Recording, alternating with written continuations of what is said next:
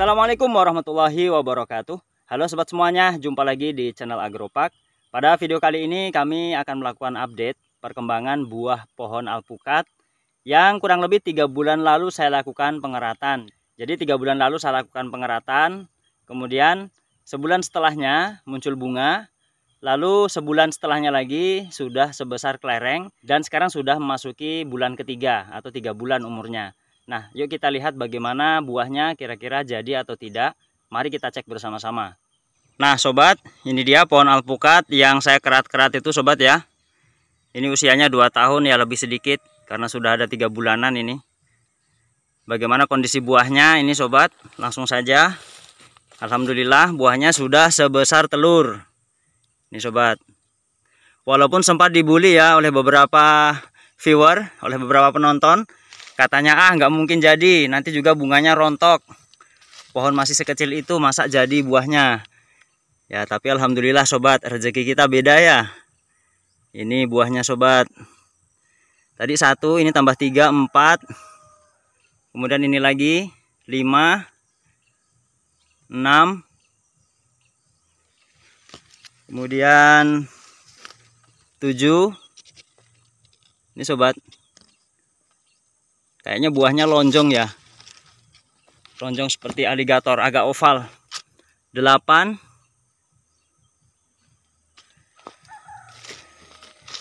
Cari lagi. Sini kayaknya ada juga. Nah, ini sobat. 9. Alhamdulillah sudah ada 9 sobat. Artinya eksperimen ini sudah terbukti berhasil. Ya walaupun tidak semuanya jadi, banyak juga bunga-bunga yang rontok sobat seperti ini ini ini. Ini contoh bunga yang gagal. Karena memang bulan ini sebulan ini banyak hujan sobat. Hujan terus banget di daerah kami. Tapi juga masih banyak sobat muncul bunga-bunga baru. Ini bunga susulan.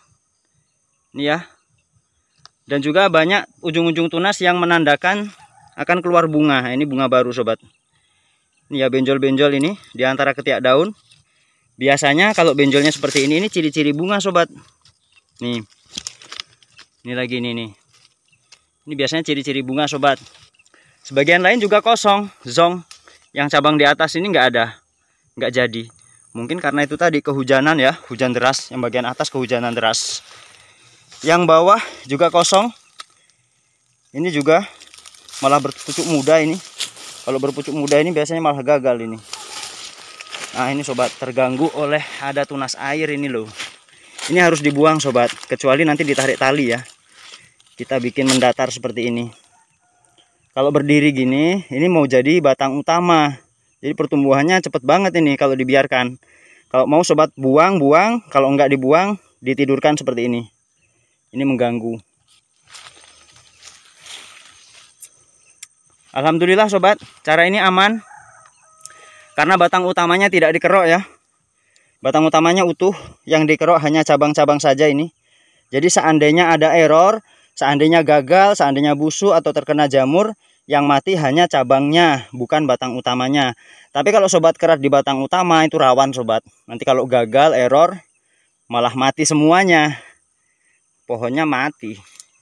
Ya walaupun dapat 9 biji sobat tapi sudah alhamdulillah. Saya sudah senang alhamdulillah dapat 9 biji. Dan biasanya sobat biasanya nih ya kalau kita syukuri 9 biji ini rezeki kita akan ditambah sobat.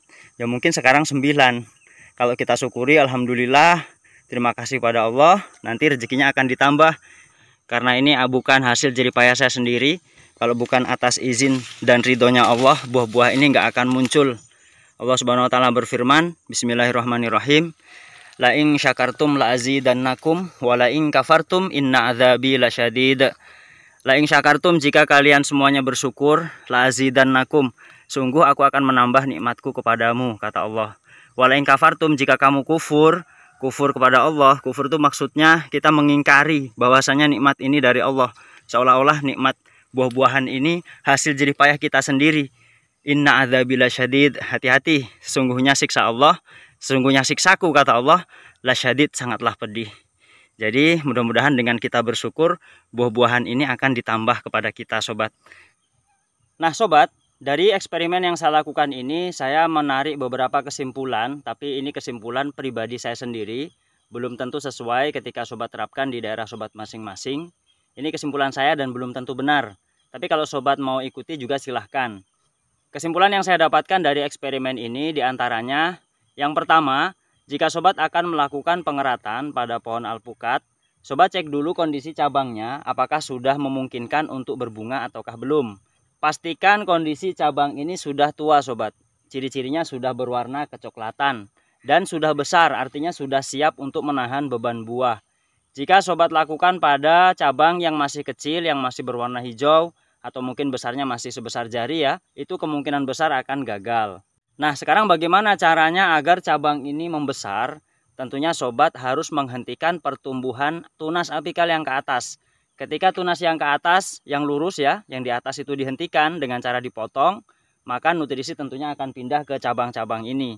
Sehingga itulah yang memungkinkan cabang alpukat kita bisa membesar dan cepat tua. Nah, cabang-cabang ini bisa kita ibaratkan sebagai tabung nutrisi atau penyimpanan cadangan makanan yang nantinya akan menghasilkan buah. Ketika ini tidak menyimpan cadangan makanan, maka tentunya pembuahan pun akan gagal atau mungkin berbunga tetapi rontok. Yang kedua, sebulan sebelum kita lakukan pengeratan, sebaiknya kita pupuk terlebih dahulu dengan pupuk yang unsur P dan K-nya lebih tinggi. Terserah sobat mau pakai yang organik lebih bagus, mau pakai yang anorganik juga boleh. Itu pilihan sobat masing-masing dan ini sudah kami bahas pada video sebelumnya. Artinya apa? Kenapa kita sebulan sebelumnya sudah kita pupuk? Supaya pupuk yang diserap oleh tanaman ini sudah tersimpan pada batang dan cabangnya. Sehingga ketika dilakukan pengeratan, cabang ini sudah menyimpan nutrisi yang cukup untuk menghasilkan bunga dan buah. Yang ketiga, setelah dilakukan pengeratan, biasanya bagian bawah dari bagian yang dikerat, di bawahnya itu akan muncul banyak tunas-tunas air sobat. Nah tunas-tunas air itu harus segera kita buang sobat.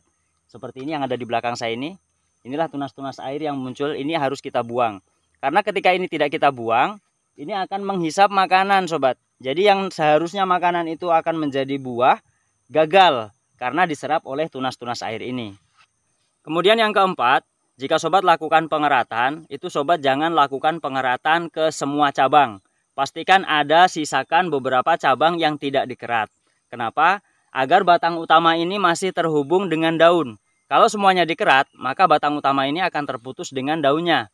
Padahal daun ini tempatnya memasak makanan. Nanti bisa-bisa batang ini tidak akan kebagian makanan dan khawatir nanti malah akan mati. Jadi sisakan beberapa cabang, jangan dikerat semuanya. Kemudian yang kelima, karena kemarin saya lakukan pengeratan ini pada musim kemarau akhir ya, sudah mau memasuki musim hujan. Sehingga bunga keluar itu pada saat musim hujan, Mungkin itulah yang menyebabkan bunganya banyak yang berguguran, banyak yang rontok, yang jadi buah hanya sebagian saja. Nah, ke depan mungkin saya akan lakukan pengeratan itu jangan di akhir musim kemarau, tapi di bagian awal. Sehingga nanti pada saat bunga keluar itu belum memasuki musim hujan. Dan usahakan pada saat pengisian buah sudah memasuki musim hujan. Jadi sobat bisa atur, bisa cek kapan kira-kira musim kemarau dan musim hujan di daerah sobat masing-masing. Sobat bisa cek di situsnya bmkg.co.id.